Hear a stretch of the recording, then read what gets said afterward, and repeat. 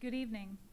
Welcome to Conversations with Queens District Attorney Candidates, hosted by the Players Coalition. Thank you all for coming. My name is Christy Rome. I'm co-managing director of the Players Coalition. The Players Coalition is an independent 501c3 and 501c4 organization that works with professional athletes, coaches, and team owners dedicated to improving social justice and racial equality in our community. We're focused on three key pillars police and community relations, criminal justice reform, and education and economic advancement. We are hosting district attorney and prosecutor forums across the country, including here in New York, various cities in Virginia, Pennsylvania, and California. Hosting today is Devin McCourty, governing board member of the Players Coalition and free safety for the New England Patriots, who helped lead the Patriots win the Super Bowl this year. Welcome, Devin.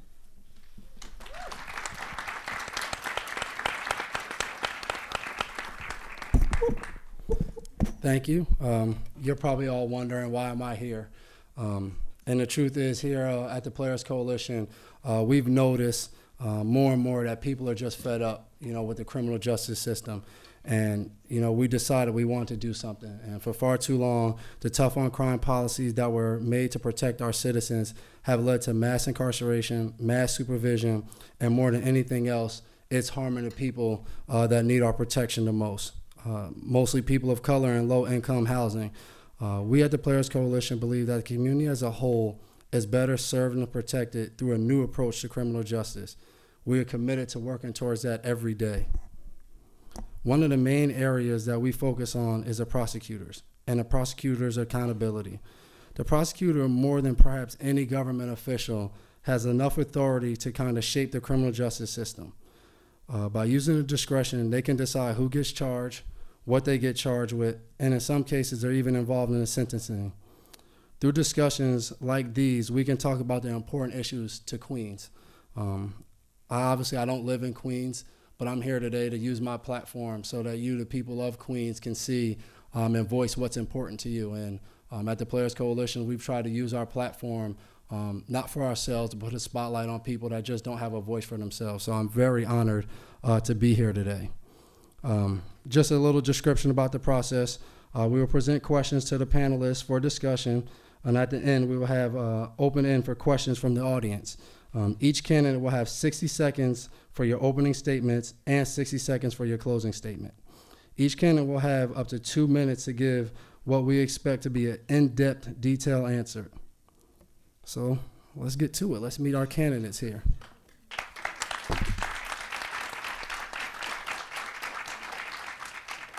Uh, to start off, um, we appreciate you guys taking the time to come here today. I'm sure you realize the importance. Um, the candidates are Rory Lancman, New York City Council member, Melinda, uh, Melinda, Melinda Katz, Queensboro President.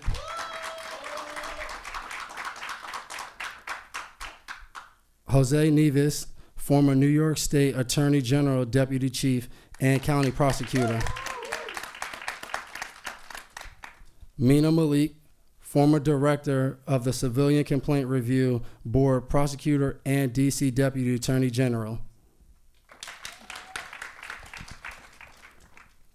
Tiffany Cabán, a career public defender.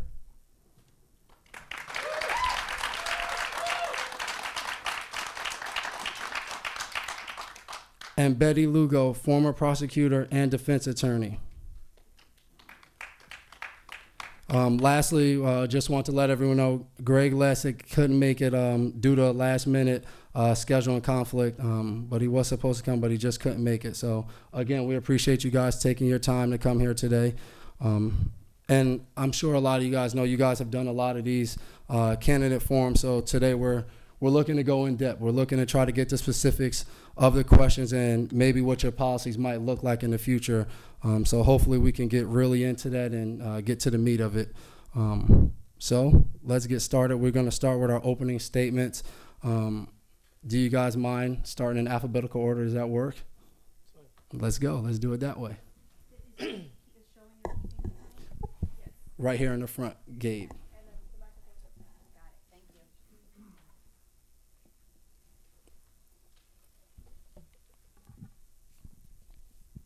Thank you, everyone. I'm Tiffany Caban. Uh, I was born in Richmond Hill, Queens. My parents grew up in the Woodside Projects, and who I am and what I fight for has been shaped by my experiences in over policed, over criminalized, resource starved communities. As a public defender, I've represented over a thousand clients, and those experiences have shown me that our broken system is the single most powerful driver of the oppression of our black and brown, low income, um, immigrant, and LGBTQIA plus communities. Our DA's office measures success through numbers of convictions, lengths of sentences, and that culture of convictions at all costs does not keep us safe. We should be asking two questions. How do we make sure our, our, the harm doesn't happen again? How do we keep our community safe? And what do we need? Our public defenders' metrics of success decarcerate, reduce recidivism, apply the law fairly across racial and class lines because stability equals public safety. Uh, it is about time that we have gone from a system of mass incarcera- incarceration to one that invests in our communities, stabilizes communities, and stops criminalizing poverty, mental health, and substance use disorder. It's the work the public defenders have always done. Thank you.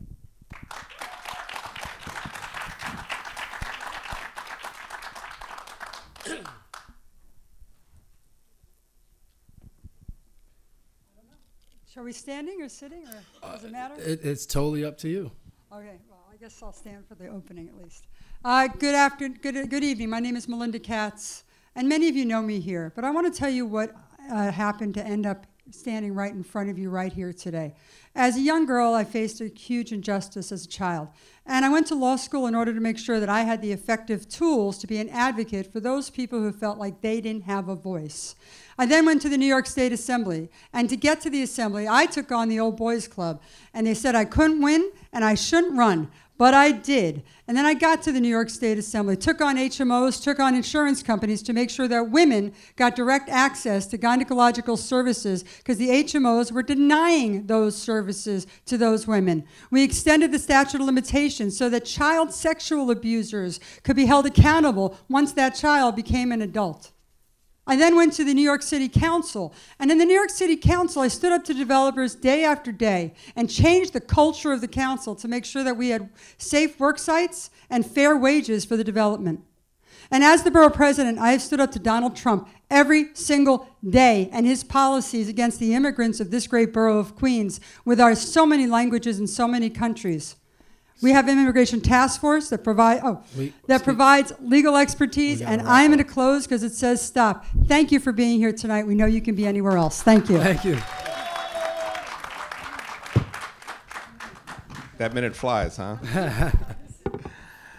Good evening, everyone. I'm Councilman Rory Lancman, and I'm running for district attorney because the criminal justice system here in Queens is racist.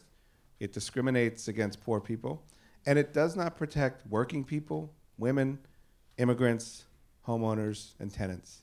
That's why in the City Council, where I chair the committee that oversees the district attorneys, through the laws that I've passed, the bill, the uh, funding that I've appropriated, the hearings that I've held, we have directly attacked the over, over policing and mass incarceration of communities of color, the evils of cash bail, the targeting of immigrants for deportation, the scourge of wrongful convictions, the um, uh, attacks on women, and police misconduct.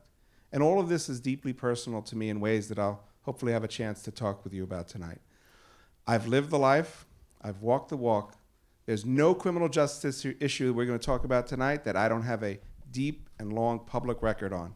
And if you give me the opportunity, I will radically transform the criminal justice system here in Queens. Thank you. I'm, sorry. I couldn't go home if I didn't.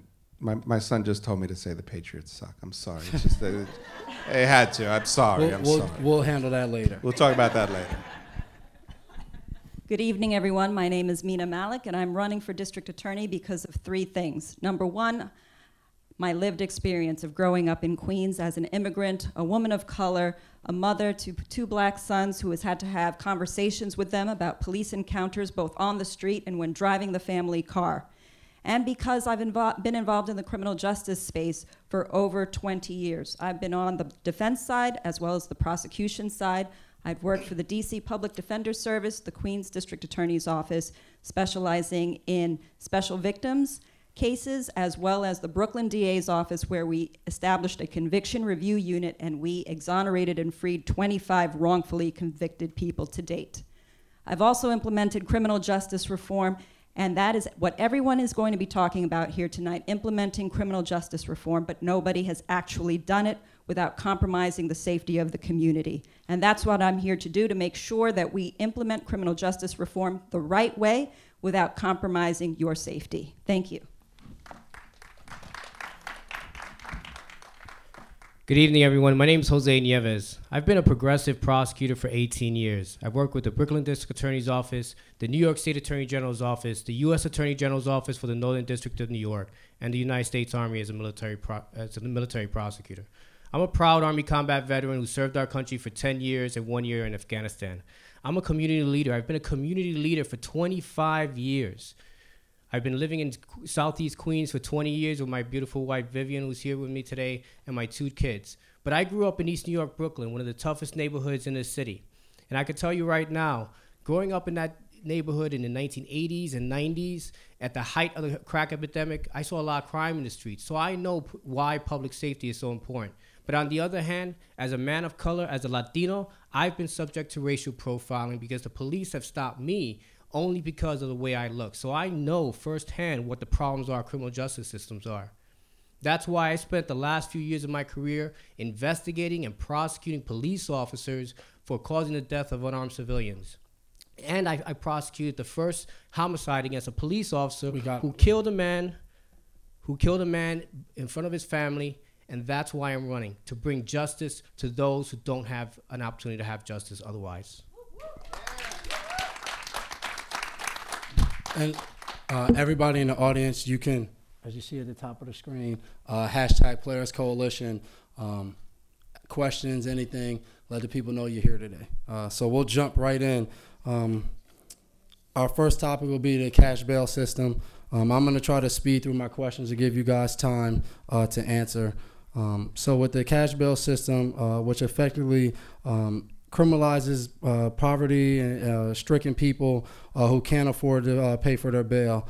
Uh, we all know that Governor Cuomo's recent budget eliminated cash bail for most misdemeanor and less serious felonies, but not all offenses. Um, some say the new law doesn't go far enough. Some says it goes too far. Um, we've all heard those different things. Um, so, would you go beyond the new cash bail system and eliminate cash bail for all ex- offenses? Um, if not, what would be the specific criteria where you would consider uh, determining when to seek bail? And if you do plan to eliminate altogether, how would you avoid um, all the pretrial detention um, where people just sit in jail and they wait for trial? Um, and then, lastly, um, no matter what your position your position is on this, uh, we don't really want to hear it's kind of case by case. We all understand that. But no matter what you say, how would you then deal with the pretrial uh, detention of so many different people who, you know, obviously lose out on family time, jobs, and all of those things that we know? Um, so, kind of a three part question. This time we'll start uh, opposite. Yep. Yes, I will end cash bail for all offenses, felony and mis- misdemeanor offenses. I don't believe that anyone should be incarcerated. Anyone should be languishing in an incarcerated state f- just because they can't afford to buy their freedom. I don't think that's justice. And coming from a disadvantaged community, I've seen a lot of my family, my friends incarcerated, and I've seen how the poor t- tend to be marginalized in our criminal justice system. I want to fight against that, and that's why I became a, a district attorney. That's why I became a prosecutor because I knew as a young man, if you if you wanted to change the system, you had to get in the game. You had to get into the system to change it from within, and that's exactly what I did. And for 18 years, that's what I've been doing. I've been diverting ca- cases from the criminal justice system. I've been I've been not u- abusing um, cash bail or any type of other bail. And the way I'm going to do it is simple. We have laws in the books that allows us to not go into cash bail at all. We have appearance bonds, unsecured, partially secured, and fully secured. We can allow an individual to be released to the custody of their family, their loved ones, who can vouch for them. We can have, we can have employers vouch for their employees, saying that they'll return to to to court.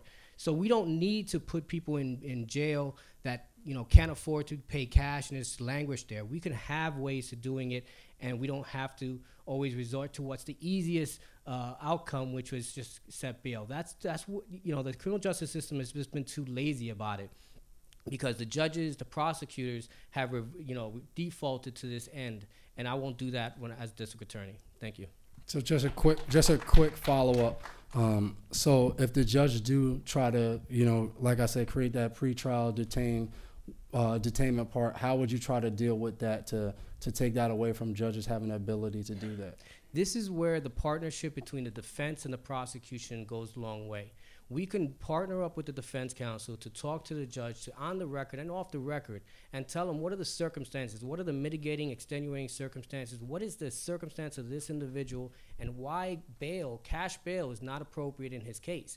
Maybe because he has a family in the courtroom and, they, and they'll take custody of him because he's a young man he lives with them. Maybe it's because the, the, the husband or the wife is in the is in the courtroom and they'll take you know, custody and ensure his return to court. The only reason we have bail is to ensure the person's uh, return to court at a future date. It's not to punish. It's not to, to, to you know marginalize. That's the purpose of it.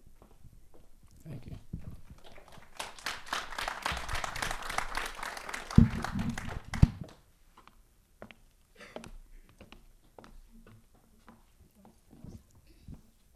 Do we want to continue? You can, yeah. We definitely need to end cash bail for all types of cases. Bail basically ensures that a person is supposed to return to court, and we have other alternatives and methods that we can use to make sure that a person will return to court without having to impose monetary bail on them. And that goes all up and down from misdemeanor offenses all the way up to felony offenses. We need to remember people like Kalief Browder and Jerome Murdough, the homeless Marine War veteran who was incarcerated for sleeping in a public housing stairwell, arrested for trespass, jailed, and held on bail because, and couldn't pay it because he was homeless.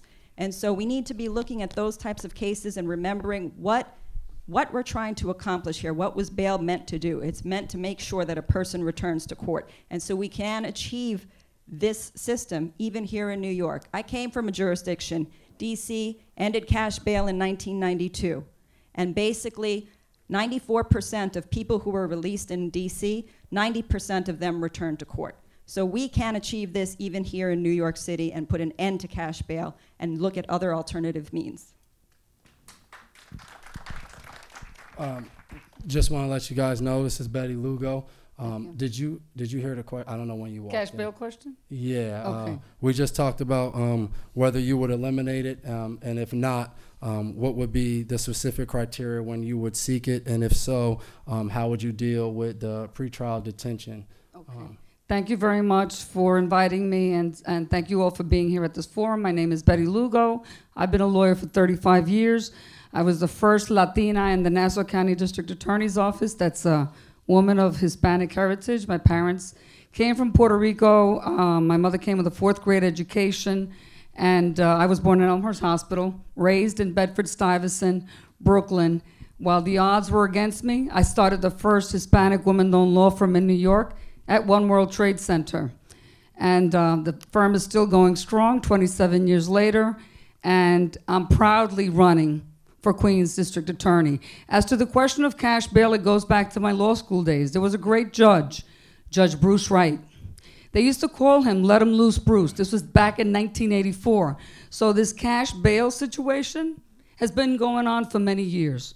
What have our politicians done? What has our legislature done? Nothing. Judge Bruce Wright, who passed away, whose son is Keith Wright, assemblyman from Harlem, um, they, and he also has a, sit, a judge who sits. But this has been going on since 1984. As a Latina and as one of you, look at me, my, I am you. I am a, a, a Puerto Rican woman, minority woman, raised in a tough neighborhood. I know both the prosecution and defense, we should not have cash bail, but let's make it stick. We've been running this, we've been talking about this way before 1984 with Judge Bruce Wright. Let's make it happen now. No cash bail.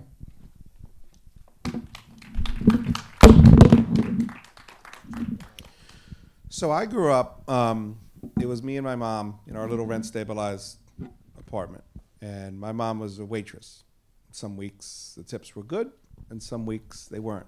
So we were on public assistance. That's how we were able to survive. If my mom had gotten in trouble, found herself before a judge, and the judge just threw out $500 bail or $1,000 bail, as they often do, she would have been able to pay it. Because for us, $500 might have been $5 million.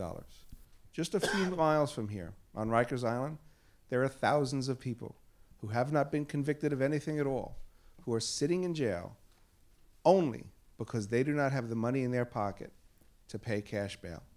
So that is why I have long opposed cash bail under any circumstance whatsoever. It's why in the council we have funded the expansion of supervised release funds, uh, supervised release programs. We have funded a New York City bail fund that actually pays bail for people who can't afford it. As district attorney, I will not ask for cash bail ever. I will make sure that most people are released on their own recognizance. Most people return to court when they're supposed to. Some people will be under some kind of supervised release program where maybe they have to check in every week or every few weeks, or maybe they get a text message or an email reminding them of their court appearance, which, believe it or not, is actually very effective in getting people to come back to court. And in those small, small circumstances where someone poses a danger to society, a specific threat, then they, like as they are today, will be remanded, awaiting for their day in court. But fundamentally, cash bail is immoral, it's evil. Nobody should be sitting in jail because they're poor. Just a, a quick follow up.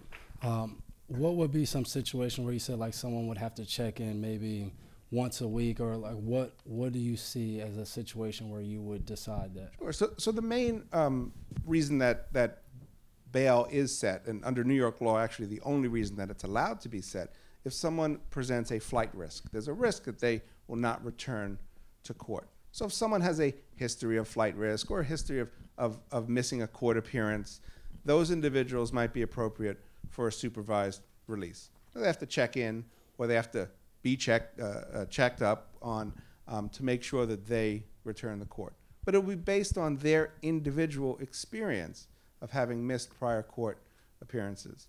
The goal is to have the least onerous burden on people as possible so that they can go and make their court appearances Sorry. and go about their life.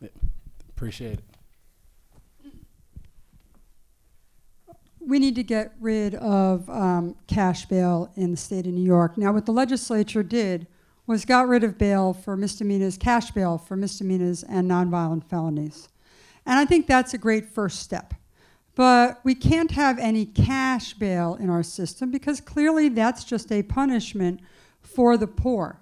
78% of the people sitting on Rikers right now have never been tried for a case. They are awaiting trial. And that's a travesty that is happening in our city. We need to make sure that we strengthen our community based organizations. So while people are waiting trial, they can not only get mental health services, but drug abuse addiction services, homeless services, workforce services, and all that comes with not ending up back in our criminal justice system. And We've already been working with a lot of the cure violence groups, a lot of the uh, mental health clinics, a lot of the drug clinics, working on uh, gun violence issues in our communities. But if you do cash bail and spend, send people all the way to Rikers before they've even been tried, the idea of them coming back into the system is multiplied enormously. So the way I would do it is I would have no cash bail those that could be that should be remanded are very few and should be the last choice alternative. But there is a middle ground that I believe in. I believe there's people who are getting sent to Rikers who would benefit more from supervised release into one of the cure violence programs. I believe there's those that are going to Rikers right now who are actually doing time who would benefit more from a drug abuse clinic or for mental health services or for homeless services. Why were they committing the crimes? Were they trying to put food on their table or were they trying to put a roof over their head? Why don't we figure it out? And to say that everyone who only is doing misdemeanors or nonviolent felons, or those that we really know are not going to show back in court, and that there's no middle ground gotta- that we can be helpful so they up. never come back, I think that there's a lot more we can do. Thank you.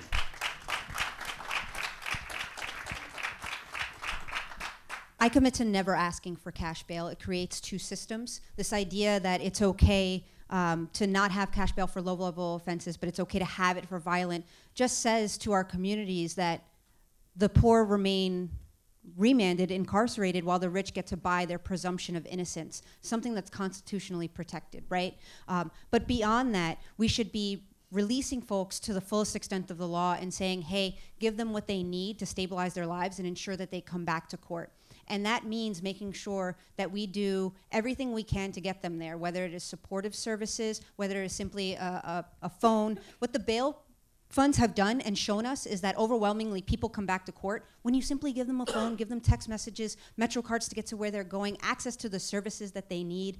I would be wary even of saying, hey, going forward, we look at some of these bench warrant histories because, in fact, what I know as a public defender is a lot of times barriers to getting to court sometimes are uh, the, the choice between keeping your housing at the shelter right? Or getting um, your methadone at the clinic, or all of these other things. And the one thing that I want to point out as well as being really important is how we figure out who we release and under what conditions.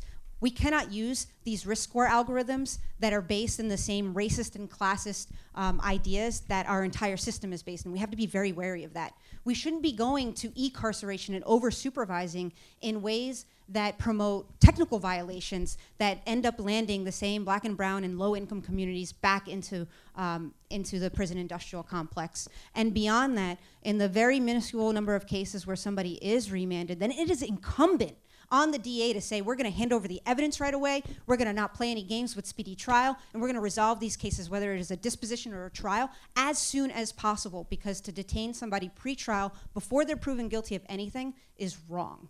Thank you. Uh, just a just a quick follow up. Do you do you see um, a situation where you do um, expect to have cash bail, whether it's like you said, flight risk or something? Do you see that? No, there is never uh, an appropriate uh, instance where cash bail should be set. Again, we can't make this distinction. So we're saying that low level and nonviolent offenses, we won't have cash bail um, and everybody gets out, the wealthy, the poor. But then when there is a violent crime, for example, we still allow the wealthy to, again, buy their presumption of innocence, something that is constitutionally protected, and then poor folks stay incarcerated. And it destabilizes not just their life, but their family members' lives, and it's a generational impact, right? And a lot of times when somebody isn't detained pretrial, overwhelmingly those cases end in dismissals, violations, misdemeanors, whereas if you're incarcerated, you're going to end up with a felony. Thank you. So moving on to the next topic, um, we'll talk about diversion. Uh, I want to talk about the ways to keep people out of the system, such as declining to prosecute certain offenses in the first place and diverting people into treatment away from criminal convictions.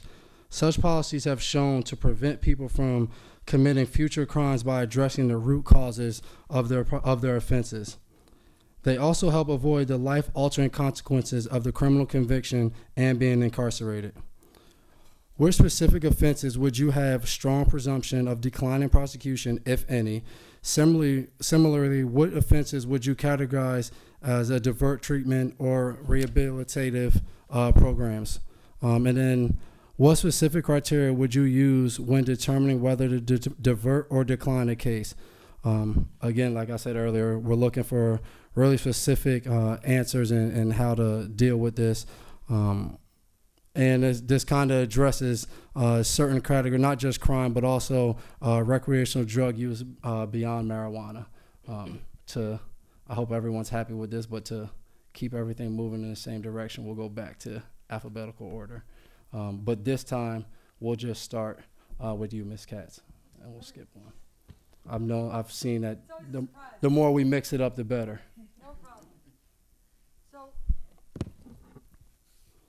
Diversion is one area where you need to have a history of doing it in this borough in order to make it successful on January 1st when you become the district attorney.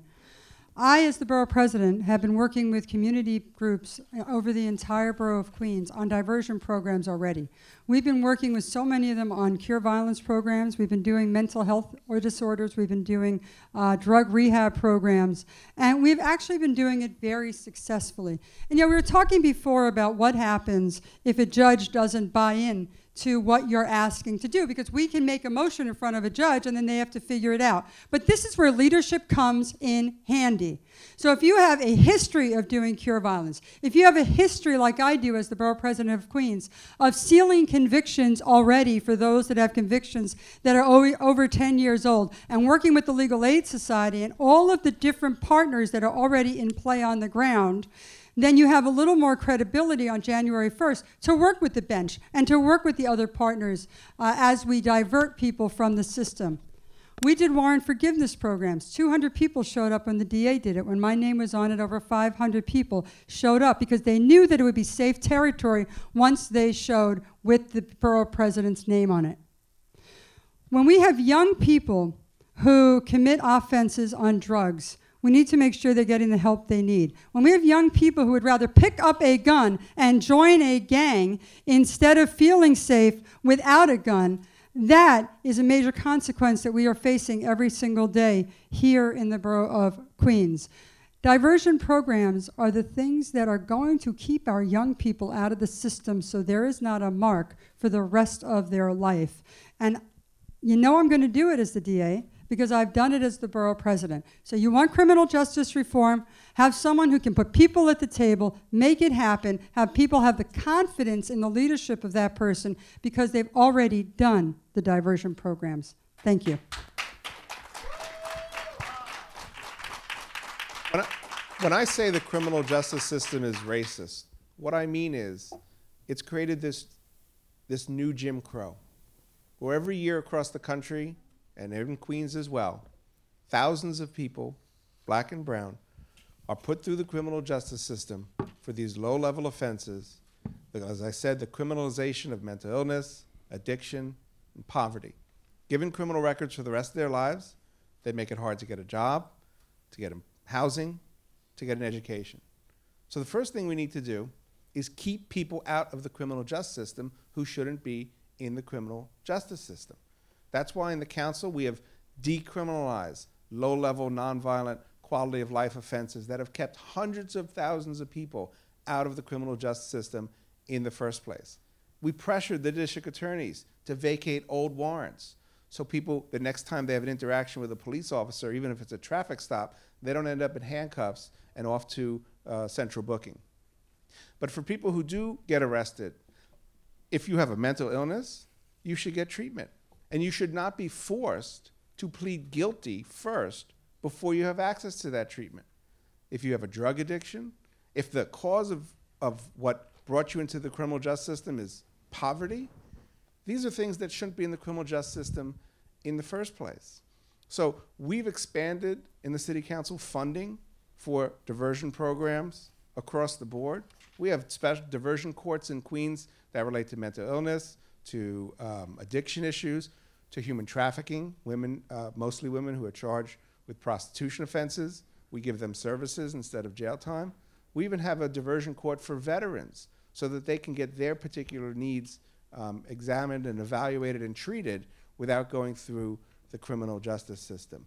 We need to stop we need to stop criminalizing the social problems and social challenges that we have in this city, in this country, and get them out of the criminal justice system and get people the help and the treatment that they need. I grew up in Bedford Stuyvesant. My mother had a small business, and everybody, all the factory workers, and everybody in the neighborhood would come to her. Doña Juanita, please help me. My kid is in jail. This happened, that happened. I have personal, firsthand knowledge of not only being a victim of crime, but having a family who's been a victim of crime and my brother who has been a defendant, and so has my uncle. So I have personal firsthand knowledge. I am you. My brother, meth- heroin, methadone, now has liver cancer after serving as a Vietnam vet. My father and my uncle, both Korean War vets, Borinqueniers, but also alcohol issues. Now, what do we say about this? no matter what programs, and everybody up here could talk about programs. Let me tell you about programs. If you don't have the right programs with the right people in there, you're not going to give people help because you know how our people are. We're very proud. We don't. What if you send somebody to a program and they don't go? Then what do you do? Violation of probation? Another ticket? So we need to make sure that these programs have diversity and inclusion. You can't send a Latina or a Latino who suffered domestic violence to Safe Horizon with a white therapist. I'm sorry, you just can't. They don't understand the language, they don't understand the culture. It's not going to work, okay? And including, the, uh, you know, uh, blacks, Asians, whatever. If, if you send a Chinese person to a Puerto Rican therapist, it's not going to work. So somebody has to fix this. And it's a whole process, and it's, it takes a village. The community has to come together with the faith based leaders in our community and make sure that we have Latino social workers, Asian social, social workers, black social workers, people that understand the culture, understand the community, and that they're gonna get respected. That you're gonna respect the victim, you're gonna respect the defendant, and they're gonna respect you in return. Otherwise, these programs are not gonna work. We can talk about program, program, program but they have to be properly equipped. And it's not about putting the whites first and saying, okay, we, we get all the money and everybody else gets, you know, $15 an hour because, uh, I'm sorry, you're a minority, so we're gonna give you $15, like make the road, okay? The white people, excuse they make all the gotta- money and then nobody it. gets, everybody else gets $15 an hour. We got So we got a got a quick follow up, uh, thirty seconds. Yes. Um, what specific charges would you divert or decline? all low level offenses. I don't believe that low level drug, cocaine, marijuana, heroin, if it's for your personal use, hey, that's prevalent in our communities. It's too bad. You keep on prosecuting that, you go to jail, you're gonna see all the young Latino, black, and brown brothers and sisters in jail. Let's not prosecute low level drugs. What for? What for? They're gonna come back and forth. So, and um, petty larceny, uh, criminal trespass, Thank- anything that it not, does not involve violence, I would not prosecute. Thank you. Thank you. So, as special counsel to the Brooklyn DA Ken Thompson, we came up with the first in the nation marijuana possession decriminalization policy where we decided we were not going to prosecute low level marijuana possession offenses. And as district attorney for Queens, I would not only do that in Queens, I would also take it further. Gravity knives, for one. Usually, people are in possession of gravity knives in Queens because they need them for their jobs. They're construction workers, or they work in a factory, or they work in a warehouse. Yet, if they're caught with a gravity knife, they get arrested for having a gravity knife, and it's a criminal offense. Prostitution is another one that I wouldn't, I wouldn't prosecute. We need to stop prosecuting these low level criminal offenses that do nothing but saddle people with a criminal conviction that affect their ability to get a job, to get housing, to get a loan, sometimes even their ability to get a license. It's unfair and it affects lower income communities and black and brown communities even more. The other thing that I would do is we're talking about diversion courts. As Deputy Attorney General, I implemented a mental health community court and also expanded drug treatment court. We also started a restorative justice initiative so that people wouldn't get saddled in the criminal justice space and have criminal convictions, where we tried to work with the offender and the victim to make them whole again and to make sure that the harm wasn't repeated in the future. And that's what we need to do in Queens County. With the current diversion courts that exist, I understand that they may have been existing for a long time. But sometimes we actually need a fresh eye to come in and look at it objectively and see how successful these courts really are. Where's the data? Where's the data on how successful these courts really are that are currently in existence in Queens County? As district attorney, I would look into how successful they are, do a full and comprehensive evaluation, and see how we can make them more effective and more efficient so that we can make sure that the citizens of Queens County are getting the treatment that they deserve. Thank you. As district attorney, I will decline to prosecute sex work and related offenses, gravity knife offenses, trespass, uh, fare beating, these are all criminalizing three things. They're criminalizing poverty, drug addiction, and they're criminalizing already marginalized people in our society. And we need to stop doing that. What I want to do, I want to focus on, uh, on prosecuting violent crime. So, in order to do that, you have to divert the low-level offenses away from the criminal justice system. And when I say divert, I mean really divert. In Brooklyn and and, and other counties in Manhattan, we have a project called the Clear Project, where in, they don't even come to court. The individuals that get arrested and, and charged with, with criminal possession of, of narcotics, they don't even come to court. Social workers go to the precinct and counsel them and put them in services, and they don't even have a case against them. That's the type of criminal justice system that I want to see happen.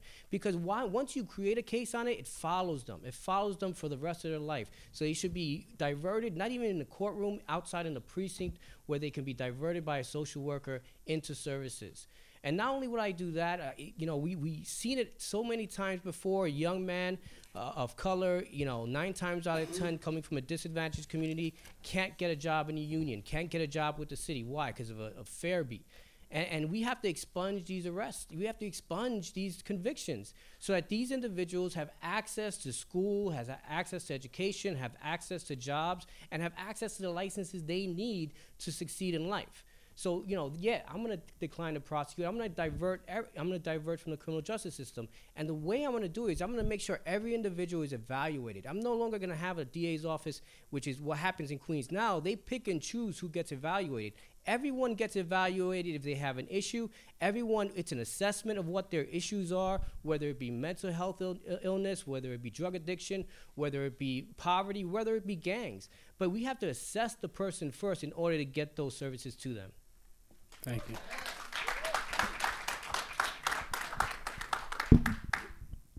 So I'm just, it's not on? How do I do this? There we go. Hello? Okay, well, that one.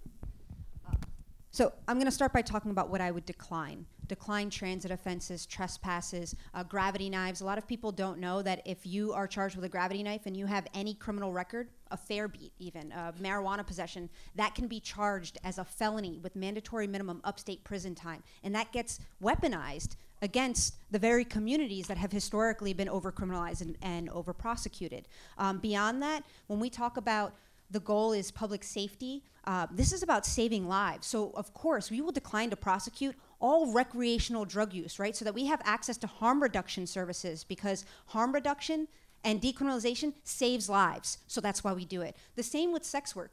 Um, a difference in opinion on all recreational drug, uh, drugs, and the, the details matter here um, with the other candidates, but also when it comes to sex work, full decriminalization. You have to uh, decriminalize sex workers and customers because it saves lives. It creates an environment that allows sex workers access to health care and law enforcement support and um, frees them from the dangers of of abuse and trafficking. That's how you target trafficking. There should be a presumption for diversion. How many times can we go into a system throwing people in jail and say, jail isn't working, but you're throwing them back in jail? Somebody struggles in a program and they never get a second chance at a program.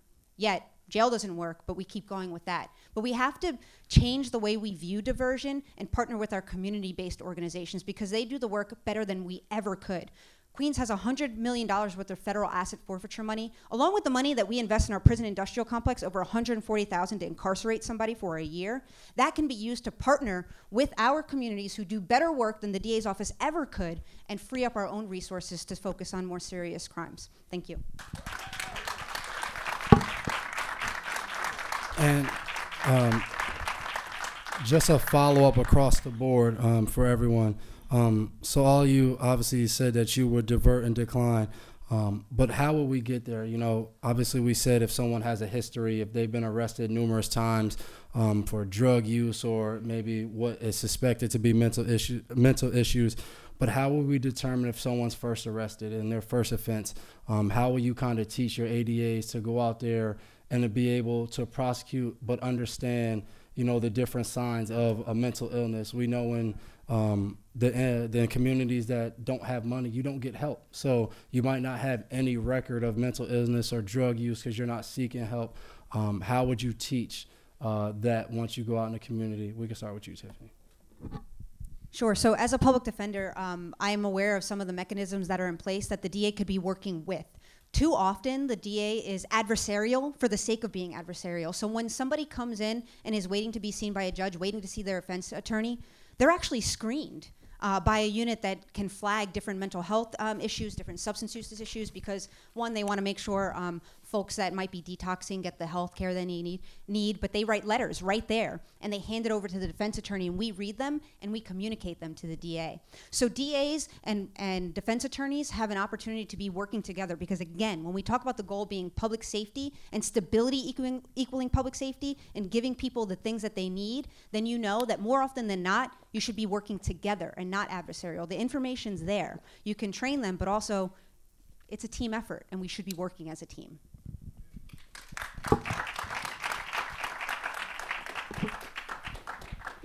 So every single bureau chief, ADA investigator should be trained to get the signs of mental illness. And anyone that's even questionable after all the training should go for assessment before we even continue going through the criminal justice system. I think it is crucial to do that for anyone who shows any signs. I want to go back if I can just because it's the same question. You know, we have diversion right now in the city of New York, in Manhattan, in the Bronx, and in Staten Island for actually uh, arrests for controlled substance in the seventh degree. And that includes many, many drugs, not just marijuana. It includes opioids, it includes, it includes heroin. And the problem with that is that it's at the DA's discretion, and we don't do it here in the borough of Queens. So we need to divert folks into drug rehab anytime we can. And on January 1st, we need to join that citywide program that Queens chose not to be in.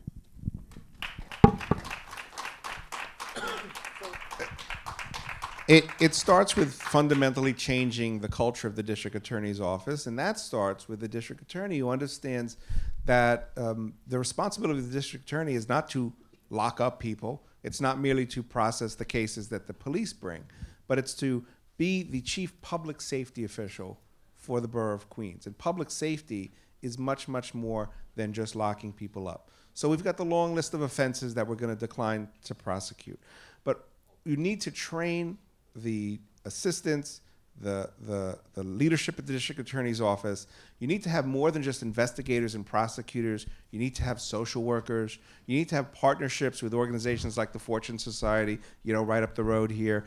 There are organizations that we work with in the council that are dedicated to providing people with alternatives to incarceration. And they need to be made a part of the district attorney's office, not some separate uh, organization or some separate place that's separate and, and apart from what up. the district attorney does. Thank you. I would have a diversity and inclusion unit and a community relations unit, and this unit would be responsible for providing health and wellness classes to all my staff to all the assistant DAs, to the investigators, to all the personnel, as well as mandatory diversity and implicit bias training. It is now for lawyers mandatory to have at least one credit of diversity training because believe it or not, ladies and gentlemen, we still discriminate. We may appear that we don't, but we do. And um, we need to educate everyone. So I would also institute, like a boy and girls club, I would make sure that every assistant DA and everybody that works in my office goes to a less fortunate neighborhood, a tough neighborhood, and not only inspire and mentor people of color, minorities, to seek a profession in, in the legal or whatever other profession they want, but to let them know that they're a role model. I've mentored so many young people Mexicans, blacks, Asians. They're now lawyers, they're now accountants because I know I didn't make it here on my own.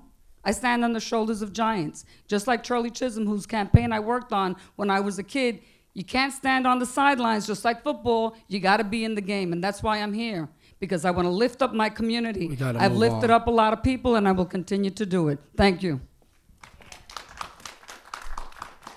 Anytime that you're trying to implement culture change in a large government organization, it is not easy. You, you usually and probably get the most pushback from implementing culture change from within, not outside, from within. So, as district attorney who has done, as a district attorney, and someone who has actually implemented culture change in three government organizations already, what I would do is to make sure that the DA's office and all of its employees are trained properly. The Queens District Attorney's Office has a CLE session that is mandated for every single assistant district attorney to take. As part of this culture change, I would make sure that they're trained in substance use disorder as well as mental health issues, because I think it's important that when you have cases involving substance use disorder and mental health issues, the person assigned to the case, the prosecutor assigned to the case, needs to understand what that disorder and what those mental health issues are and how it manifests itself in behavior and how we can better look at the case holistically. We need to look Thank at you. people, not move on. cases. Thank you. This is where experience trumps political rhetoric. I've been doing this for my, with my career for over 18 years. I've been doing diversion. I've been doing the implicit bias training. We've been doing this in other offices for years. It just hasn't happened in Queens, and that's what's important to realize. You need to experience to see what what looks right and then implement it. I have that experience, and the fact of the matter is, what I will do is implement implicit bias training, cultural sensitivity training. But the first thing that I have to do is not only change the culture, is change the face of the office. Make sure it's diverse. Make sure it's as diverse as the Queens County population. Make sure that the, the, the whatever the diversion is that we have, or, or, or the you know recruitment program program we have.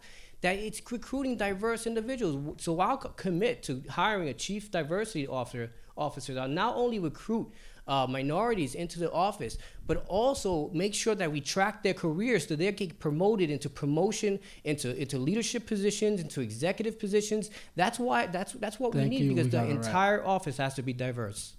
Thank you.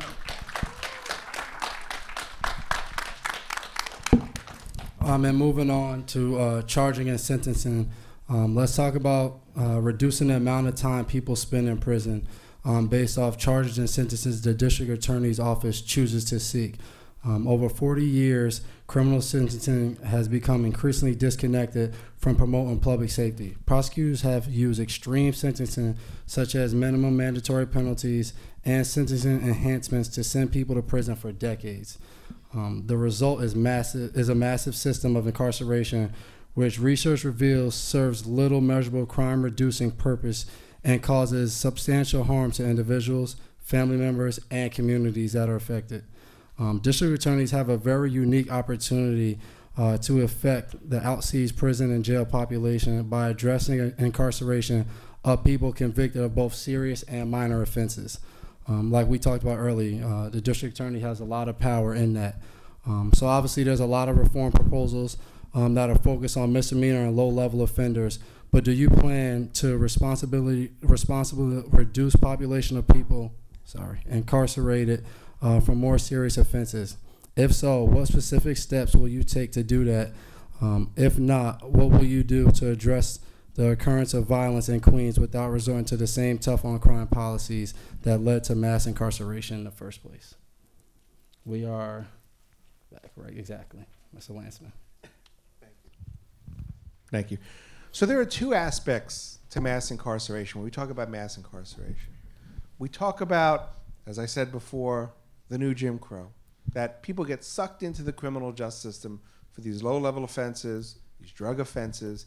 They really shouldn't be in the criminal justice system at all. And a mass of people, they may not spend a long time in jail, but they've got criminal records for the rest of their lives. The other aspect of mass incarceration, which is the a really difficult one for people to talk about, is the people who are actually sitting in jail. The jails in New York State, the prisons in New York State, are filled not with people who have been convicted of low level offenses, but of people who have been convicted of serious offenses. And if you really want to reduce the prison population, as we must, you have to confront what do you do with people who have committed serious crimes, violent crimes. Should people be sitting in prison 30, 40 years, long past the point where they would be any danger to society? Should people be sitting in prison and every time they have a parole hearing coming up, the district attorney automatically opposes their release on parole? Should we be squeezing people by using mandatory minimums into pleading guilty to charges to offenses that they didn't commit, but they don't want to take the risk of getting hit with that huge 25 to life or life without parole sentence? That's what the system does to people. So, as district attorney, We are going to charge people and seek sentences that are at the lowest that are necessary to keep people safe. We're not going to seek life without parole for anybody. It doesn't mean that someone may not end up spending the rest of their life in prison, but everybody should have at least the opportunity after a term of years to make their case to a parole board. I support the proposal that after someone has served, I think it's 15 years in prison, they get an opportunity to have their sentence reviewed based on what they've done, their, with their rehabilitation in prison, etc. We have to confront We got a violent offenses and include people who've committed violent offenses Thank you. in criminal justice reform. I believe in giving somebody a second and third chance. I believe in a firm but fair prosecution. There should be true justice for all with compassion and mercy. Everybody should be given a second chance. Nobody's perfect. We're all human beings trying to live in a very tough society these days. Now, mass incarceration is a big issue. But when I was trained as an assistant DA in Nassau County, believe it or not, while it should have been conservative, I was trained not to ask for bail. The DA never took a position on sentencing. They would leave it up to the judge. I have worked as the former chair, currently, of the Puerto Rican Bar Association and the past president of the Puerto Rican Bar Association, and I have sat on many judicial screening committees pushing for diversity on the judiciary. Because until you have a diverse judiciary, you're not going to have fairness in our system, believe it or not. So if you don't have a judiciary that reflects our communities, how are they going to know? If they've walked in your shoes, they know. The judges up there know, and they're more lenient on sentencing. I will not take a position on sentencing, but I will have often many meetings with the judiciary to discuss issues, especially of minority communities and of the many different communities that there are in Queens. Let's take it to the faith based leaders. Let's the community organizations get involved. I'll have a mediation process. Instead of making a young person go through the criminal justice system and get a career, I'll mediate a violation of a crime. Let's have retired judges sit on criminal cases and mediate that issue and try to resolve it. Family disputes, criminal trespass, anything that's not violent. Why take it through the criminal justice system? No need. Save that money for the violent crimes, save it for the real crimes, and let our criminal justice system be reflective of our community. That's why I continue to push. Here in Queens, two Hispanic women became judges last year. That's because I fought. It took us a long time. We gotta First Puerto on. Rican female judge in Queens. Last year, after so many years, Thank you. We- you we get the gotta first judge. We need judiciary, diversity. So obviously, we can continue to decarcerate our jails and prisons by not prosecuting the low-level offenses that do nothing to impact public safety and do nothing but saddle people with a criminal conviction. But we can take it further than that. Obviously, we had discussions already about not criminalizing poverty, not criminalizing people with mental health issues, not criminalizing those with substance use disorder. And if we deal with those three areas and we provide services and treatment instead of incarceration, certainly we will be decreasing the amount of people in the population of our jails and prisons. But I also think there's another side to this. And what we need to remember is that we need to keep our communities safe and whole and make sure that we are protecting people who need to be protected and make sure that we stand up for victims as well. Not only for people who are accused of crimes, but also for victims. So some of you may not be old enough to remember the Wendy's massacre that happened in Flushing at a Wendy's restaurant, but seven people were shot execution style by two men.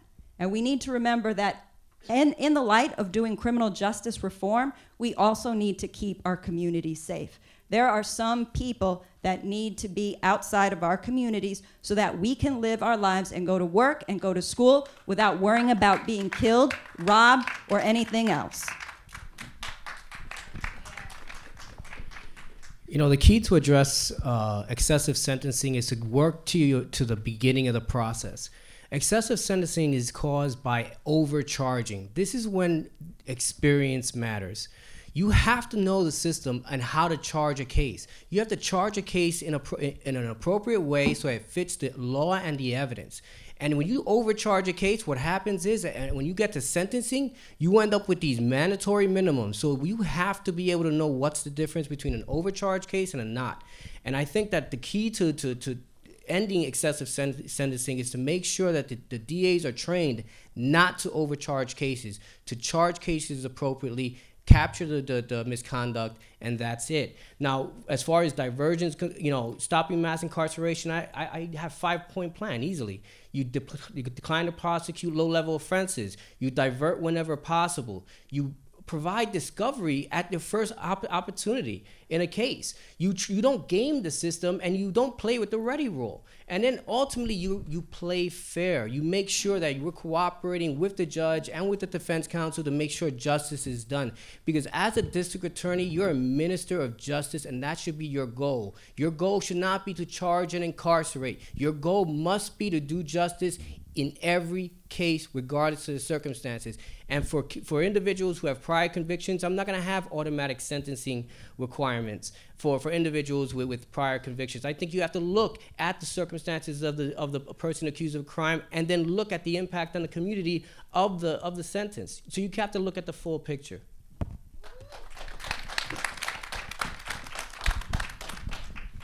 If we want to end mass incarceration and reform our criminal justice system, we cannot limit reforms to low level nonviolent offenses. And something that you learn when you are in court every single day is that one week you're the defendant, one week you're the witness, and the next week you're the victim. And so when we talk about public safety and who we need to keep safe, we need to be looking at it on a large scale in terms of our entire community. And you know that when the goal is public safety for all of our communities, then we should be proactive, not reactive. So we invest in things like the Cure Violence model that attacks gun violence by investing in our communities, allowing our communities to take ownership, not involving the police and interrupting violence before it escalates. Gun violence goes down by upwards of 30 to 40 percent.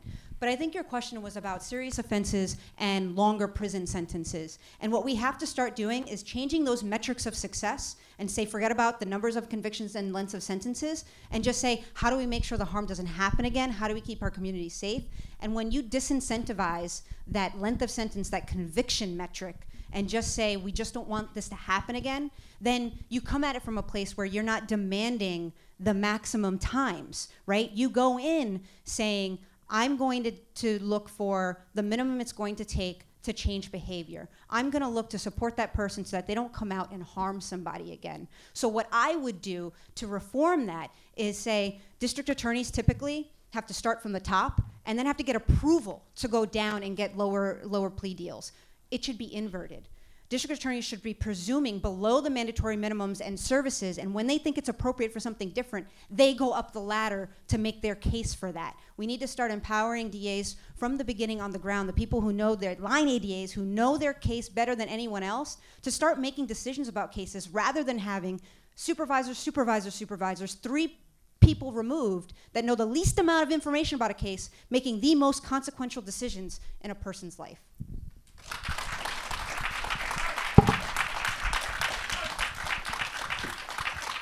One of the reasons to end cash bail is because we have a lot of folks in the state that are actually pleading to higher crimes because they can't afford the bail. So they're sitting in Rikers for as long as they are, and then someone comes and says, Well, if you plead to this crime and you get more time than you would at a trial, we'll make sure that you move forward at least. But they can't afford it. So that ends up in mass incarceration throughout the state of New York.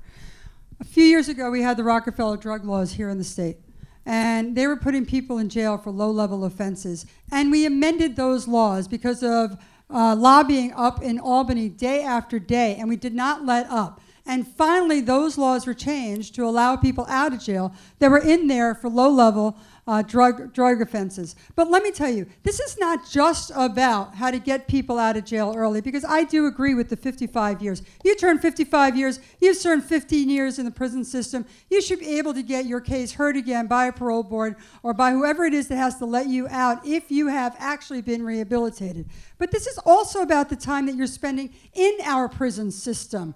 There are inadequate drug abuse um, programs that are happening in our system. There is absolutely little training that is going on in our system. We have solitary confinement and virtually no standards and no laws to dictate when you need to let someone out of solitary confinement. And then once you let them out of solitary confinement and they're angry and they haven't gotten the services they need and they have been hungry and they've had nobody around them for as long as it's been, and then you say, well, look, you're still not behaving right. Of course you're not because you haven't had the services that you need in order to be able to have good behavior.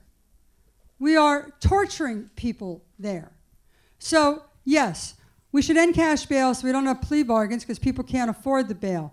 We should make sure that the ADAs, by the way, and you have to know how to run a 530 person office, we should make sure that the ADAs do the lowest amount of time necessary for each crime and get permission by the DAs to go on a higher level, not the opposite. Thank you.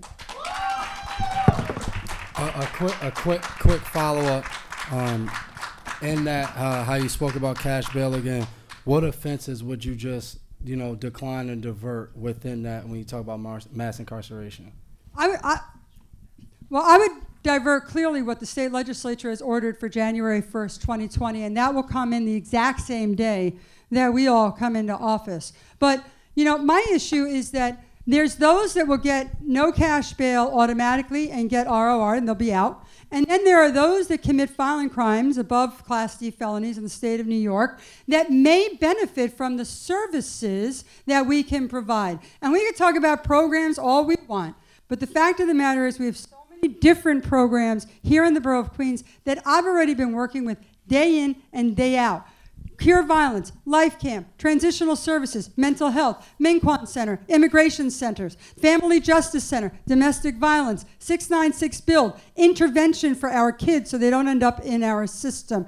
And I believe that there is a middle ground, that those that aren't remanded and those that aren't automatically ROR'd, that they can actually have supervised release be part of programs that will make their lives better instead Thank of you. doing a bullet at Rikers Island and coming on. out worse. Thank you. Appreciate. Um, so I don't I don't know if you guys have um, done this before, um, but the next is a, a part that we call the candidate questions. Um, now we're gonna let the candidate ask one question to their opponent, um, not one question each. You get to pick um, who you want to ask a question to. Um, and the six, you uh, you obviously have a better understanding of everything going on um, and the issues. Uh, so we want you to be able to ask your opponent a question, and you each will have 30 seconds um, to state your question and answer um, in a one-minute time. So 30 seconds to ask your question, one minute to answer, um, and we'll start down at the end this time. Me? Uh, yeah, and an ultimate switch up. My question is for Ms. Cabán. Ms. Cabán has less than six years' experience practicing law, has never led an organization or even a group uh, larger than five people. How is it possible that you can lead an agency of over 600 people when you've never done it in your, in your, in your career or your life? Thanks, Mr. Nieves. Um, I have seven years of uh, experience as a criminal defense lawyer representing over a thousand clients um, on cases from turnstiles to homicides. Beyond that, when we talk about what it takes to bring these kinds of reforms into the office, these are the things every the progressive prosecutor the 21st century prosecutor uh, these are the things that public defenders have been fighting for on the front lines in court and in Albany for decades. We know them better than anyone. Beyond that, this is about understanding that policies and intended impacts don't always happen in court. And having the knowledge of knowing how to make sure that happens is really important. I have a team, including former career prosecutors with supervisory um, experience, that are ready to come into that office with me to help me in the areas where I need I'm not somebody that's going to say, I can do this alone. We do it as a team. Beyond that, as a grassroots campaign for a first time candidate, I consider myself the CEO, my campaign manager, the COO. I have over 300 volunteers, a finance director, Thank a field you. director, a comms director, Last all sentence, of which please. I manage and do it well. So thank you. Thank you. Ms. Malik? My question is for Ms. Katz. Ms. Katz, you've been the borough president, you voted for the death penalty, You have never been involved in criminal justice before until this particular campaign. Can you explain to us your experience in criminal prosecution, in criminal defense, as well as implementing criminal justice reform in a large government agency? Yes, I voted for the death penalty. So many, many of you may not know, is 50 years ago this June, my mother was killed in a drunk driving accident. And I say accident, but she was killed. And when I got to the assembly, there was certain anger issues that I was dealing with at the time. And as I grew and started working on different laws in the legislature, I got the opportunity in the New York City Council 15, 10 years later to be able vote against the death penalty. Because the moment I voted for that, I knew that it was the wrong decision to make.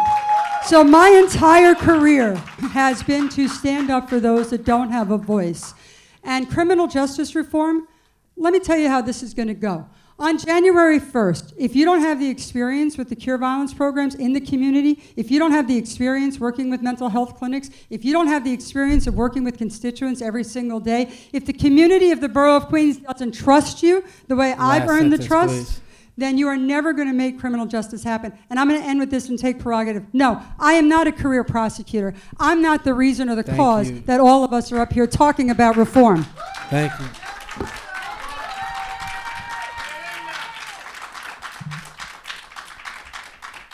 My question is for Rory Lancman. Um, I've worked for diversity in the judiciary, diversity in the legal profession, diversity all around my entire life because I believe that I should lift people up because I had the opportunity and I want more people that look like me. Mr. Lancman, during your career as a city council person or during your entire career, what have you done to mentor people of color and whether anybody has become a lawyer or a judge, of what policy or law have you changed to increase diversity in the legal profession?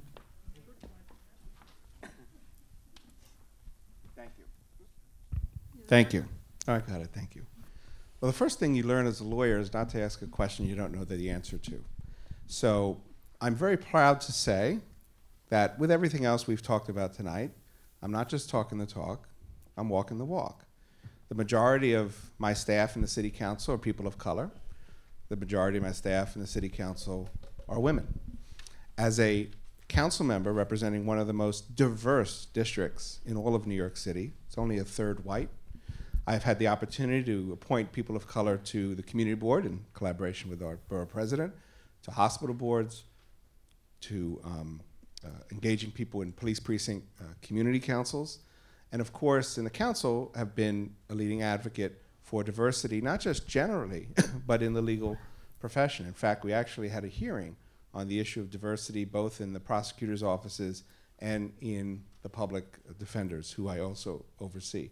Diversity is extraordinarily important. People should see that the district attorney's office looks Last like sentence, them please. so that they know that justice is being administered with sensitivity and impartiality. Thank you. You're up now. Thank you. And so I, I will ask a question of the borough president. Um, you know, you voted for the death penalty not once, but twice. And I understand the circumstances of your own upbringing. All of us have had difficult circumstances and challenges. But when we are in a position as public officials, we must be able to rise above them. This wasn't a decision that you made as a college student or a high school student. You were an elected state assembly member. Now that you say that you've had a change of heart, I can't look into your heart and evaluate whether that's true or not. But what I can ask you is, as borough president, why is it that you did not sponsor a single bill in the city council, as is your right as a borough president, on criminal justice reform?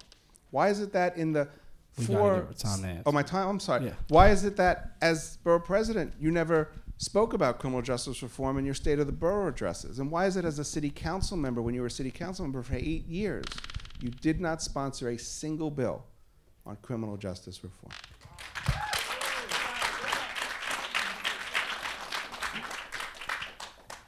So people evolve, and part of the problem with the district attorney's office is it hasn't evolved. I would venture to say that even Councilman Lancman has evolved. In the year 2000, he answered a questionnaire Do you support the death penalty? And he answered yes. And I'm assuming, like me, he has worked hard to make sure that he worked on criminal justice issues, that he was in the community doing what he needed to do to make a voice for people who have no voice. But at the end of the day, I have not sponsored a bill in the city count in the uh, borough president's office, and I'm going to tell you why. Because I've actually been doing the work. Because I've been out there sealing convictions with partners all across this borough. And when I went out and did sealing of the convictions for people who had made mistakes over 10 years ago, 150 people showed up and got their uh, applications in to seal those convictions. When I did warrant forgiveness programs in the borough of Queens, by the way, over 500 people showed up to get their warrants forgiven. 400 people walked out that day, not having to look over Last their shoulder every time they got in the car. Why haven't I sponsored legislation as the borough president? Because I've actually been doing the work. But I, I'm, s- I'm sorry. I have never, I'd love to see that questionnaire. I have never answered a questionnaire that I supported the death penalty. And in six years as a state We- we assembly member gotta- myself, we gotta move on. Where I'm there were sorry. death penalty They bills left no and right, ha- I never signed have on the to a death penalty bill. Miss So Cass- that's, that's just not true. Ms. Katz, you're up. Uh, You're up for a question, if you would like. So, I didn't even think of a question, but I, I guess, I guess Betty, look, Betty, when you were talking about uh, mental health and how we would deal with defendants who uh, came into the system that might have mental health issues, um, can you just talk a little bit about how you would assess that, how you would work on that, and how you would make sure the ADAs actually complied with the training that they had? I would make it a policy that everybody obtain uh, the training and bring in professionals to come in and teach uh, my staff about mental health awareness and also, you know, I, I worked under um, at the Manhattan DA's office with Judge Dora Irizarry, the first Puerto Rican chief judge of the Eastern District of New York, actually the Second Circuit of the federal court. And I remember her telling me, I worked at the Bronx DA's office and I couldn't take it anymore because I had to prosecute a case of a young five month old kid that was sexually abused. I couldn't take it. You think that the ADAs that come to deal with the investigators that see the crime and they hear these cases, that doesn't affect them? Let me tell you, it does affect them. And they take it home. They need to receive mental health training, health and wellness training, as well as being able to identify it. Now, with the State Bar, the New York State Bar Association, which I am the vice chair of the tri lawyer section, we do a lot with mental health training, health Last and wellness sentence. classes, and alcoholism. That's very important, and the training will be provided. Thank you. Thank you. Ms. Cabán.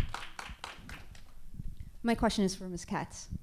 Um, so when we talk about our criminal justice system uh, and decriminalizing poverty, getting to the root causes of crime, homelessness is, is a big one. Destabilization of people's lives is uh, the driver of not just low-level and quality of life crimes, but violent crime as well.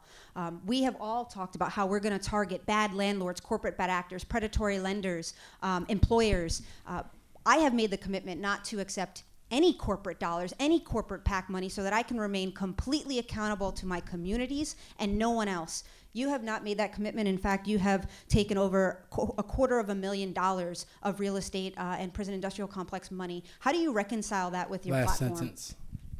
Thank you. I've raised money for many people all over the city of New York who know my 25 years of history in public service. And you want to talk about standing up? I've stood up to developers when we did Astoria Cove. I voted against it because they weren't doing fair wages and they had unsafe work sites. I stood up just last month for Willets Point to make sure that we were using trades. And I have cost developers all across the city hundreds and hundreds of millions in dollars by changing the culture in the New York City Council 20 years ago when we started doing public um, labor agreements with developers to make sure that they were using good labor in all of the projects they were doing. You want to know how I would stand up to them? Because I've already cost developers hundreds of millions of dollars. That is why I am the only candidate up here who has actually created a Bureau of Housing Fraud, which will work from day one in the Queens DA's office. Because right now, when there's an accident on site, on any labor site in the, in the borough of Queens and in the city of New York, the Department of Buildings or the Department of Investigation will tell you when you need an assistant district attorney to be able to go to the work site. I have stood up against powerful interests my entire life. Thank you. And that won't change as the DA. Uh, so the so the next phase is we have questions um, from Twitter, online, and uh, you guys right in the audience. So I'm going to try to um, go through these questions as fast as possible. Each candidate has one minute to respond, um, and I'm going to try to be super strict so we can get as many questions as possible. Um, My apologies, I, ha- I have to step out because the Queens County Bar is honoring my friend Ken Standard, first, second black president of the New York State Bar Association. So I apologize, but I have to leave. Thank you. Thank you so much, thank you. let's get right into these questions. Uh, candidates keep referring, um, referencing supervised release and other services in place of cash bail. What happens when someone doesn't meet the conditions? What will the candidates do uh, in those circumstances? Um, and the same question for diversion. And I'm going to put another question with that. Um, another question to go along with that is what steps do you plan to take to ensure we're not subjecting people to needless surveillance and incarceration? Um, I guess we'll start uh, with Ms. Malik. We haven't started down there yet. So when, when people don't follow the, the parameters of what they're supposed to be doing, I think it's incumbent upon the district attorney to also meet with the defense attorney and find out exactly why they haven't been meeting what they're supposed to be doing. And we need to be able to reevaluate that and make sure that there are steps in place so that they can be successful in terms of the conditions and the diversion programs that they're under. But it's incumbent upon the district attorney's office to have those open lines of communication with the defense and to figure out holistically how we can make it better and more successful for the person who's charged with a crime. We'll keep going now. Okay. So the first thing that I want to change as DA is I'm not going to require individuals to plead guilty to get the services they need. So I'm going to divert the individual from the criminal justice system without having to plead guilty to a crime, and then work with them, the program that they're in, and also their defense counsel to try to get them back on track. Because once you hit somebody with a criminal conviction, it's a permanent scar on their record, and it's a permanent scar in their life, and they get you know denied schooling and they get denied jobs they get denied licenses. So you're not helping them by giving them a criminal conviction. What you're doing is you're exacerbating the issue. You're bringing them deeper into a hole. So you have to take that opportunity that you have to help them to make sure that the program is working with them to make sure that they have the support system they need. It might be another issue that's uh, you know preventing them to succeed in a program like poverty like housing like economic hardship. And if you don't address those other issues, what's going to happen is they're going to keep failing. And, and but you can't give up on them even when they give up on themselves you can't give up on them you have to work with the system to try to save every life because every life matters and, and, and if you hit them with a conviction you've everyone's lost thank you So the question is, what would you do if a person is not complying with the supervision that's been given, right? Correct. Thank you. Um, so I, I think we have to look at one whether the person is substantially um, complying because a lot of times there are, are technical rules that are violated that we really shouldn't be saying, well, this is now the reason that you detain somebody or incarcerate somebody for. I can't tell you how many times programs really uh, provide a level of over, over supervision. You know, for example, I've had clients, um, a, a client who recently had gotten custody of his two children and his supervision conflicted with the child care. He wasn't reoffending or anything like that. He was substantially um, complying. We shouldn't be violating folks for that. We should be looking at their lives and saying, hey, the goal is just to keep people safe and keep people rooted in their communities. If they're not hurting others, if they're not reoffending, then we need to work with them to find ways to, to make sure that they're staying in their communities. I'm going to say the thing that maybe perhaps everybody up here might be uh, afraid to say is we will do everything we possibly can um, to keep people rooted in their communities with as little supervision as possible. Um, but at the end of the day, again, there is a balance, and if we get to a point where none of our, our services, nothing's really working, then we ha- we are in a position where maybe somebody needs to be removed from their community, but that we have to take care of the case as quickly as possible and resolve it as quickly as Thank possible you. through speedy trial and discovery reforms. So I I think the first question we need to ask is why they're not complying. Yeah, I met with um, about 30 women the other day who are out of Rikers or on work uh, release down here. And on parole, for instance, I'll give you an example. A lot of the women were complaining, and they were right, that they're being set up for failure on parole. They have to go to their parole meetings, they're held by the parole uh, officer, they're missing work, they miss their meetings, they miss the programs that they agreed to be in, and there's no excuse for, meeting those, for not being in those programs and not making those meetings. And they end up being in violation. So I think you need to look at why people aren't um, complying with what they're supposed to do.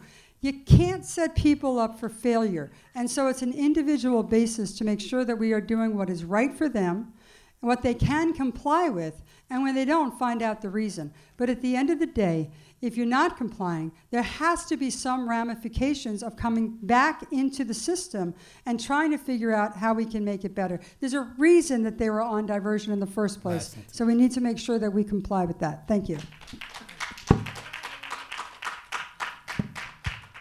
So one of the problems with the Queens District Attorney's office is that it has this carceral mentality. It has this punitive mentality. They really believe, in fact, the number two executive in the office who I debated on the issue of Rikers Island, I hope we get to talk about Rikers Island tonight, actually said in the course of that debate, I was for closing Rikers, he wasn't, every person on Rikers Island deserves to be there. There's this attitude that giving someone access to drug treatment, uh, mental health treatment, is, is a gift, is um, something that is a privilege. But in reality, we should be keeping folks who have mental illness, addiction, out of the criminal justice system in the first place. And those of us who have worked with um, uh, programs for people with mental illness, people with addiction issues, know it's very common for people to quote unquote flunk out of the program the first time, the second time, the third time. The fact that you're having a criminal conviction hanging over your head is not going to make you complete Last the drug sentence. treatment program or the mental uh, health treatment program. And so we need to not penalize people who work through programs if they fail the Thank first you. time or the second time. Uh, so just a quick follow up, um, yes or no to uh, I'm, this is across the Oh. board for everyone. Um, so if they don't meet the conditions, will you seek jail time? Yes or no? Uh, we can start right with you, Mr. Lancman, since you finished up. Sure. At some point, yes. We'll, we'll go down the line, line to you, Ms. Malik. Yes, at some point, absolutely. I don't believe so, no.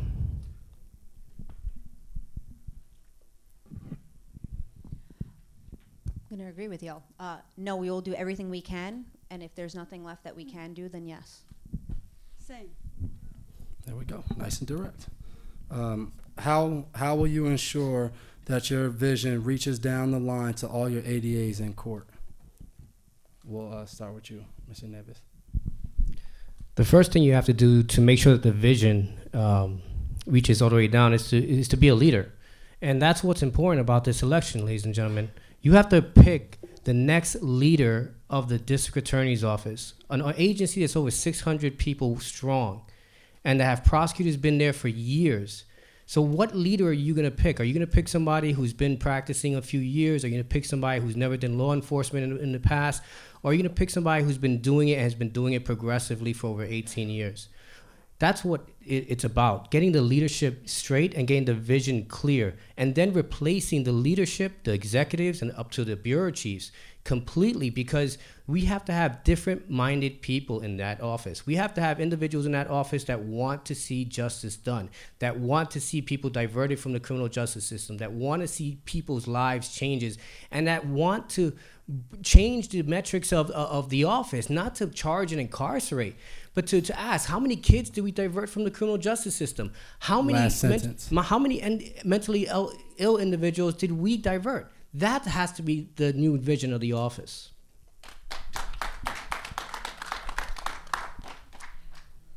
So anytime that you're trying to implement culture change, it has to come from the top, and that's where the vision starts.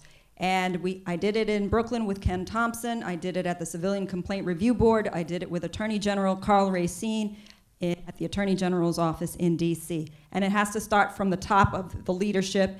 The executive level has to be changed, The senior staff level has to be changed, and also on down the road to deputy chiefs, bureau chiefs, as well as deputy chiefs. You have to implement justice reform and the new vision through your leadership. And then what you do is you get in fresh blood from the bottom up by hiring new people who have the same leadership and the same vision that you do in terms of criminal justice reform. And that's what I plan to do as district attorney. The leadership in the office has to change. It has to be reflective of this room. They have to have women at the top, they have to have people of color, Black and brown communities need to be represented at the top of the leadership change. LGBTQ communities, they all have to have a seat at the table where the important Last policy sentence. decisions are being made. Thank you. So the question basically is how do you take these reform ideas and plans that you, you say that you have and make sure that they're actually happening at the ground level in the district attorney's office? Well, first of all, I know the Queens District Attorney's Office. I oversee the Queens District Attorney's Office. I oversee its operations. I oversee its budget. But my own leadership experience leading a council office that conducts oversight hearings, that conducts, um, that uh, passes important legislation, that appropriates funding, that's leadership. The um, uh, experience that I had as a lawyer in private practice. For 15 years, I represented people who were discriminated against or sexually harassed on the job or had their wages stolen. Like, I know what it means to be in a courtroom and represent a client and hold wrongdoers accountable. And if you're a leader and someone who comes to the office with a strong vision and a knowledge of the office and an experience as a lawyer and experience leading offices, making public policy, then you can know that the policies that you Last implement at the top are going to be im- implemented throughout the organization, and you're going to be able to make real reform happen. I'm a leader right now of an office that has a five and a half million dollar budget, a seventy million dollar a year capital budget, and has over 65 employees that I lead right now. I don't work for someone who leads it. I actually do the leading right now. And so, as the district attorney of the borough of Queens, I will set policy and programs inside my office. There will be plea bargains to the lowest level of time that anyone can have. There will be sentences that go on a low side of that. And anyone who deviates from the policy that I have developed as a leader, the way I have as the Queensborough President's Office, will have to somehow tell me that that has happened. And we will figure out the best way to make that happen. A memo every single time it goes with, uh, outside of the policy that I have created meetings on a monthly basis to make sure that we are all still on the same page. But the ADAs, once I create these policies, once I create the criminal justice reform culture that is going to happen in the DA's office, they should get in line, or I'm sure that there are other employers who would be happy to employ them.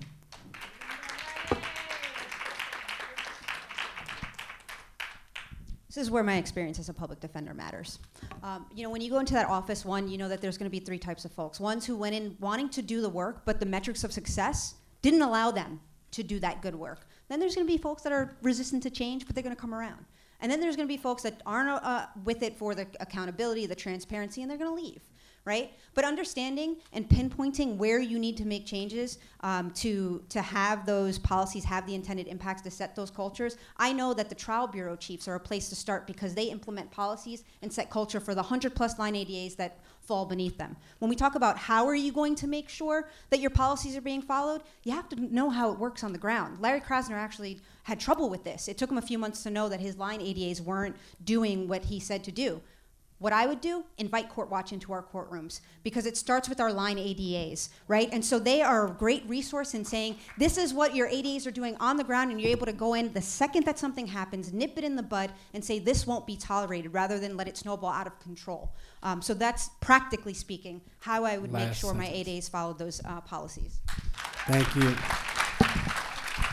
Appreciate all your answers uh, to each other's questions and then to the audience questions.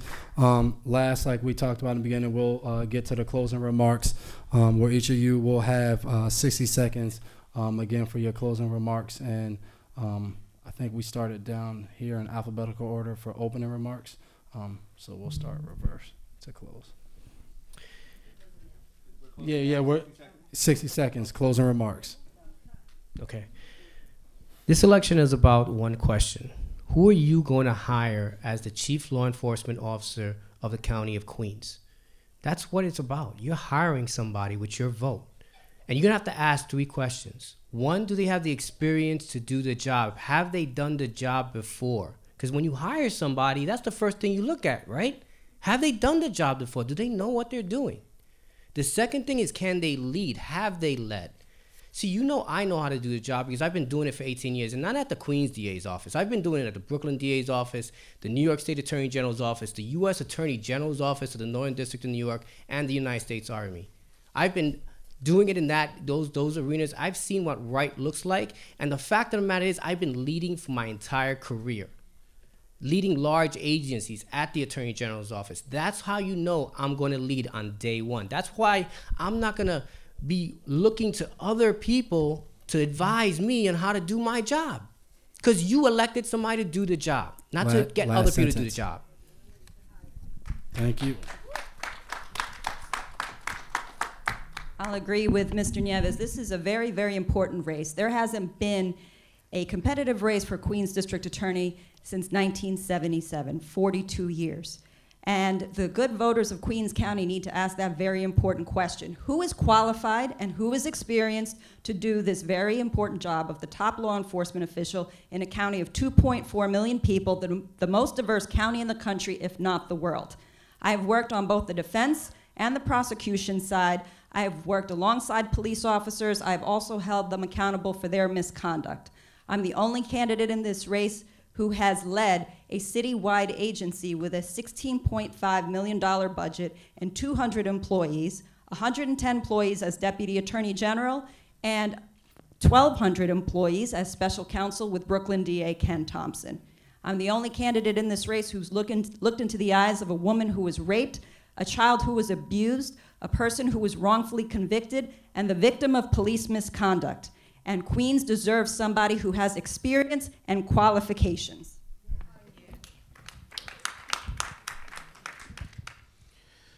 So you've heard a lot of similar ideas and policies expressed tonight, and you have a choice to make. Which one person are you going to elect to be the district attorney? And I would submit to you that it's really a straightforward choice. You want to elect someone who's been doing exactly this work. Not the people who built the prosecutorial system that we're trying to tear down. Not people who've spent their life working on other issues as important as they may be. But for my time as a public official, we have attacked over policing and mass incarceration. We have attacked the criminalization of mental illness, addiction, and poverty. We have attacked the cash bail system. I've attacked police misconduct. I'm very proud to have the support of Gwen Carr, Eric Garner's mom, Valerie Bell, Sean Bell's mom, because they know that I'm going to hold police accountable because I've been doing it. And so this is a once in a generation opportunity to elect a district attorney. And if you really want to radically transform the criminal justice system in Queens Last sentence. and be certain that the person you elect is going to do it, elect the person who's been doing it. Thank you all very much. This is a race about trust. The district attorney, for all the laws that are passed, are going to have a lot of discretion. And there is no doubt that you need to have faith in that person. And I agree with my colleagues experience matters. Experience matters. But it also matters to get real criminal justice reform, to make sure that you get people to buy into that system here in Queens, where no one has bought into the system of criminal justice reform for over 30 years. I am not a career prosecutor. I am not part of the problem. Instead, I've spent my last six years and last 25 years standing up to powerful interest and winning every single step of the way at every single job I have had. You want judges to let people go without cash bail, even if they're not legally required to. You need someone they trust who is leading the team of district attorneys. You want someone to let people into the diversion programs, to get drug rehab, to get mental health illness uh, services, to make sure that they get homeless services so they're not out on the street. You want a judge and a defense attorney and a prosecutor to all work Last together to make sure that happens. You need someone you can trust. Out of all the candidates that are sitting up here, I am the only one Thank that you. has a record in the entire borough of Queens and have answered to my constituents Sorry, every single day. Thank you.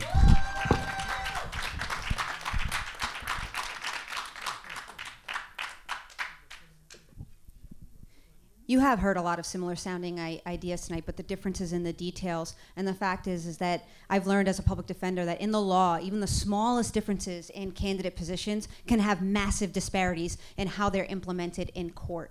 Um, so you know, we are in this position where you have to ask yourself, who do you trust to do these things? Because I can't tell you how many times I've been in court when a new progressive policy comes down and my client, who was the exception to the rule yesterday, remains to the exception to the rule today. And that can't happen. It has to stop. We deserve better. so, again, the most important question you can consider in ending mass incarceration, our broken system in Queens, is who do you trust to do these things? Because this is a once in a generation opportunity to transform our system, and we can't afford to have career politicians that haven't been in criminal court or career prosecutors who have thrived in the very system they now say they seek to dismantle. Right? What, so what I am asking you to do is vote in somebody who has always done this work. I'm asking you to vote in this Queens-born queer Last Latina sentence. public defender uh, to bring the change and justice that we deserve here in Queens, because I promise to bring you all with me. Thank you. Thank you.